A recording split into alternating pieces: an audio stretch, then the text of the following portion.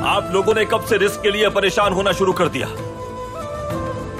क्या परवरदिगार हमारे रिस्क का जिम्मेदार नहीं? गादी ड्रामा नेटफ्लिक्स पर बैन किए जाने की क्या वजूहत हैं? मगरबी ममालक, अर्तगल गादी ड्रामा से खाइफ क्यों हैं? अर्तगल गादी ड्रामा को मकबूलियत कैसे हासिल हुई? अर्तगल गादी ड्रामा में दो अहम किरदार कौन से हैं?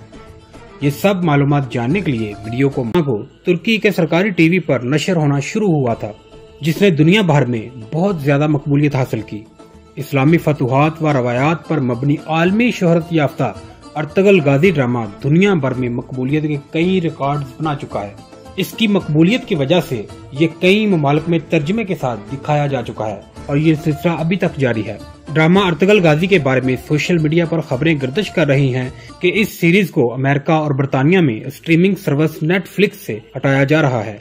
बहुत से नेटफ्लिक्स के सब्सक्राइबर्स का कहना है कि इन्हें स्ट्रीमिंग सर्विस की जानब से नोटिफिकेशन मौसू हुए।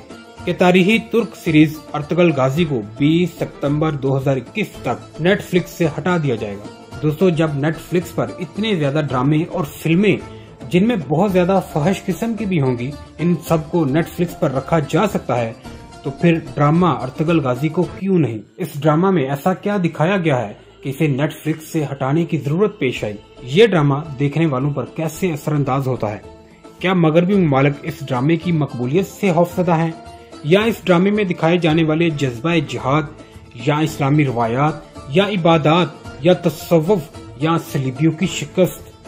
क्या इस वजह से खौफजदा है कि मुसलमान ड्रामा देखने के बाद अपने माजी को पहचान जाएँगे?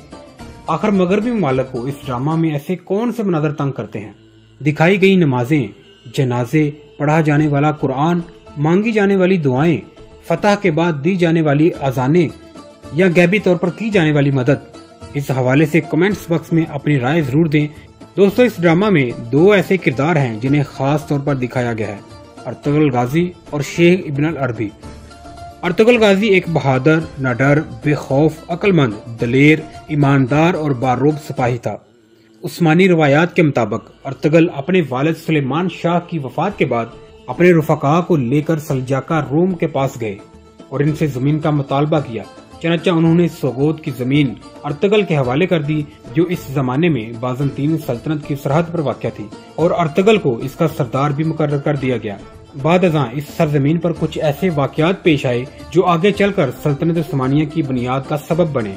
अर्तगल गाजी उम्र भर सलजुकी सल्तनत के वफादार रहे, लेकिन इनकी ज़िंदगी के आखिरी अयाम में सलजुकी सल्तनत अपनी आखिरी साँसें ले रही थी और मंगोल सल्तनत ने अनातोलिया, जो कि मौजूदा तुर्की है, पर कब्जा कर लिया था, जो इनके लिए सख्त तशवीश का बायस था और इनकी आरज़ू थी कि एक अजीम इस्लामी सल्तनत का क्याम अमल में लाया जाए।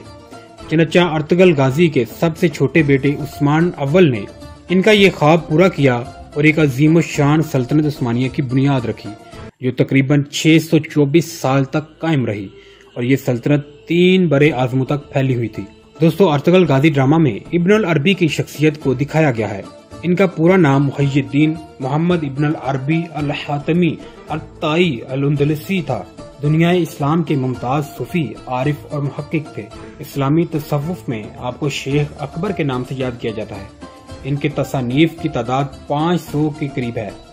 शेख इब्न अरबी उंदलस के शहर मरसिया में सताईस रमज़ान मुबारक 560 हिजरी, बामताबक ग्यारह सौ पैंसठ को एक मुआज़ अरब खानदान में पैदा हुए, जो मशहूर जमाना सखी हातम ताई के बाई की नस्ल से था। ड्रामा में दिखाया गया है कि शेख इब्न अरबी जगह जगह अर्तगल और इसके सिपाहियों और कबीला वालों की रहनुमाई करते हैं। जब अर्तगल हौसला शिकनी का मुजाहरा करता है तो इसके जज्बात को बढ़ाते हैं।